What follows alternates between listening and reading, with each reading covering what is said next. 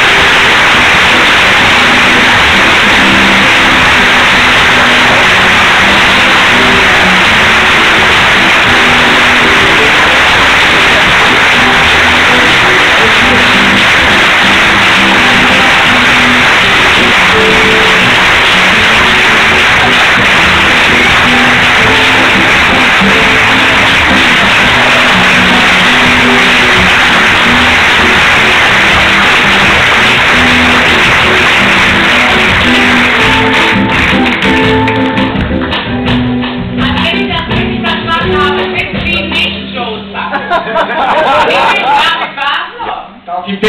Ah, David B. heißt du nicht? Nein, nein, ich öfter verwechseln. Bitte?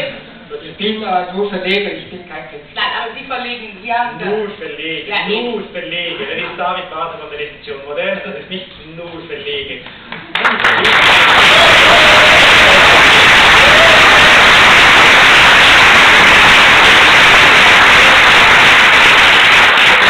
Zeichnet ja an das Buch, den Künstler und den Verlag, deswegen sind wir sehr froh, David Balser, dass Sie heute Abend hier sind, mit uns diesen Empfang zu nehmen. Joe Sacco konnte nicht kommen, er ist in den USA, hat wie immer sehr viel zu tun.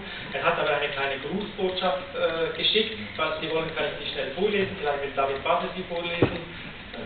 Ja, nee, ich kenne die nicht, aber Ja. Okay, Die wir haben doch bestimmt vorher schon mal Können Sie das? ist auf Englisch. Nein, ich Nein, Können Sie gut Hüster lesen? Naja, ich Schweizer Akzent, geht das? Sie sind auch Schweizer. Ich hab euch lieb. Ich hab euch lieb. Soll ich es lesen oder was? Nein, nein. Tut mir leid, dass ich heute nicht hier sein kann, aber ich bin sehr geehrt, für Gaza den Max- und Moritz-Preis für den besten internationalen Comic zu erhalten. Mein Buch besteht hauptsächlich aus Interviews mit alten Palästinensern und Palästinenserinnen, die sich an zwei tragische Episoden aus dem Jahr 1956 erinnern, bei denen viele Zivilisten getötet wurden. Diese Zwischenfälle wurden weitgehend vergessen. Es war ein Privileg für mich, in die Häuser dieser Palästinenser eingeladen zu werden und ihre Geschichten zu hören.